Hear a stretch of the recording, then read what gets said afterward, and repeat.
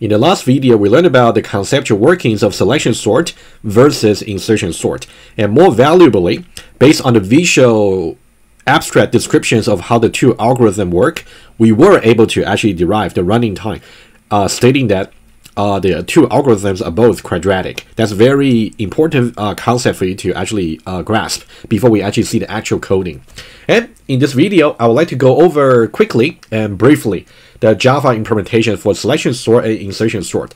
There will be quite a bit, uh, quite a bit of details uh, which you really have to uh, look at the code yourself and study that and really appreciate how things uh, will actually work. But I'll just give you some guidance, quick guidance, maybe with a little bit tracing to actually help you understand how they can be uh, in, they can be implementing the abstract idea that we spoke about earlier.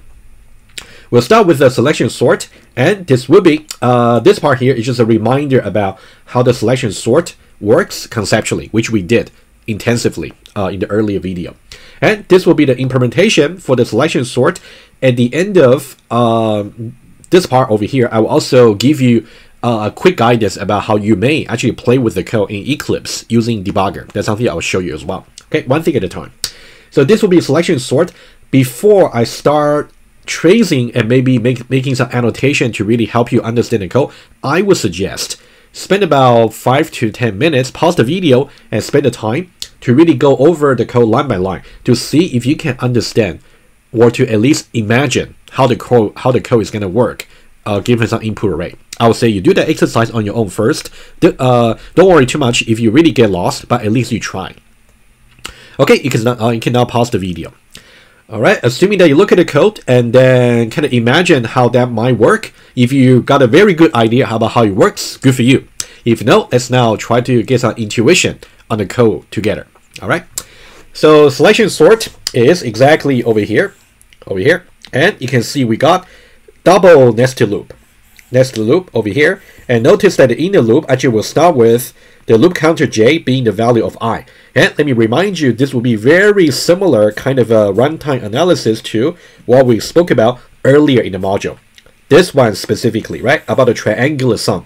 And remember, we actually tried to look at i and j, the patterns, and then derive the runtime. You will need something similar to uh, this particular exercise in order to analyze the uh, selection sort and insertion sort. And I'm going to leave that detailed analysis to you as an exercise. But I'm going to just uh, talk about just uh, briefly about how you can approximate the writing time from the code.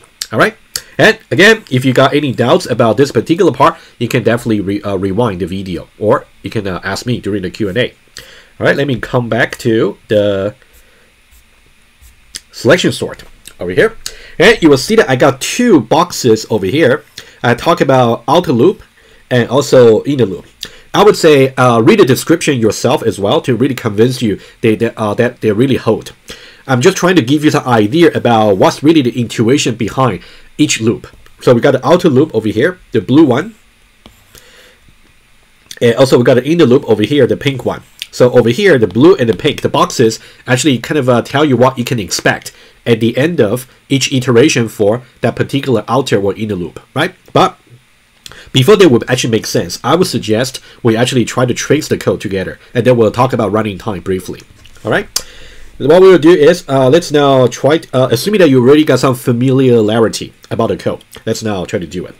And one thing I would like to emphasize over here, apparently you can see this part over here is doing something that's very obvious to you. They're trying to swap, right? This part over here is simply trying to swap AI and A at min index, right? That's something we can note right away, right? You can see we are basically trying to eventually swap this element over here and also this element over here, right? Between these two, right? By using some intermediate variable. I'm pretty sure you know how to do a swap. Well, a swap is simply some constant time operation because you only require variable assignments. All right. Knowing this, let's now try to trace the code. The input array that we're considering will be the A over here, right? You can, uh, and of course, you can assume that the input size n is actually going to be 4. One, two, three, four. We got four elements there, so there will be four in this particular tracing. All right. And for the case of selection sort, I only need to trace maybe two iterations, and then hopefully you will get an idea. Let's see. And let's now start with the outer loop, right? For the outer loop, I'm going to use the blue. Okay, this will be the outer loop over here. And then for the inner loop, I will try to use maybe the pink. Okay, just to also correspond to the color of the boxes over here, right? You can see the two boxes over here, right? All right, for the outer loop, let's now take a look. For the outer loop, we actually got i initially is going to be 0, and then you will go all the way to n minus 2 inclusively, right? That's something good. Uh, of course, you can work out exactly how many number of iterations by calculating the number of numbers in the interval. That's something we spoke about earlier. So the first value for i is going to be 0, right? And then we're actually going to execute this line over here. That'll be the minimum index. So, so that's something we'd like to find out. And then when we go to the inner loop over here, in that case, uh, we're going to run j starting from i being equal to 0 all the way to n minus 1. And what is n minus 1 in this case? It will be 4 minus 1, which will be 3, right? So it's going to go from 0, 1, all the way to n minus 1. And in this specific case, n minus 1 is simply 3 over here.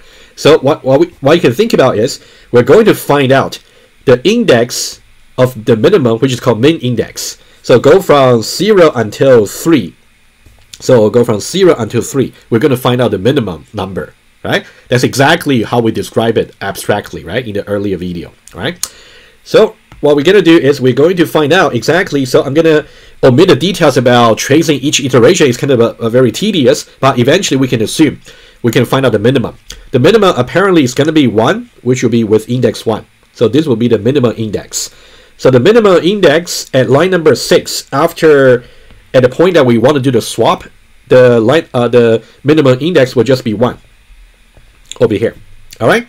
And then in this case, we are trying to swap a1 and also ai, which will be 0.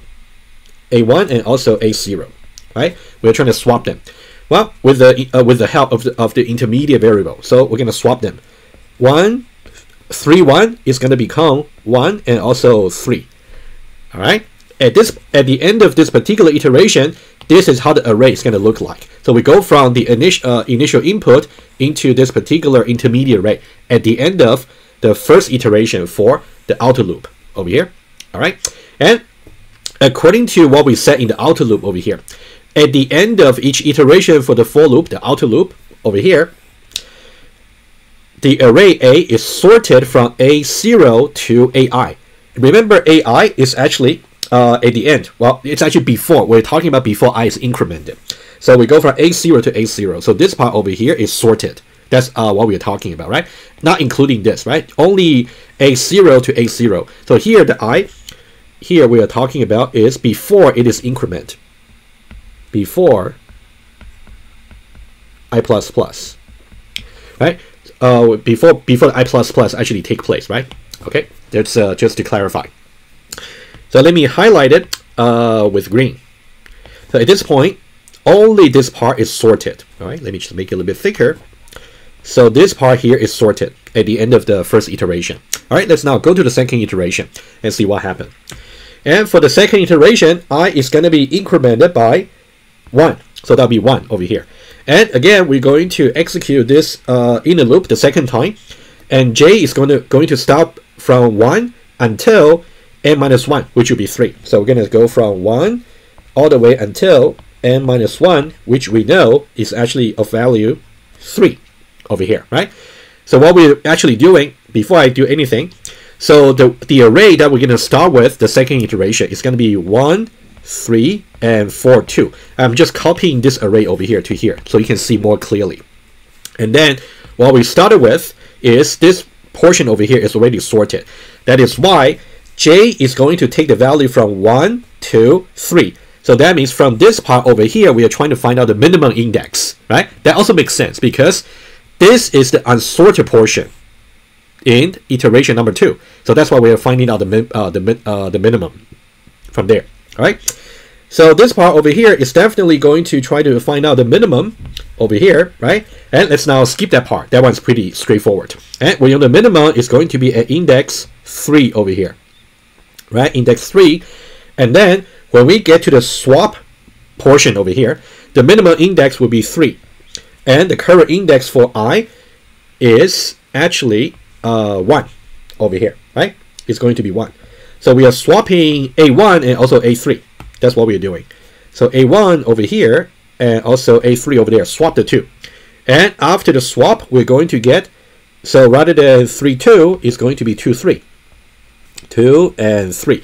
And we effectively gr have grown the sorted portion by just another element at the end of the uh, second iteration. And now if you check the outer loop again over here, so now from A0 to AI, remember before the I++, plus currently I is actually 1.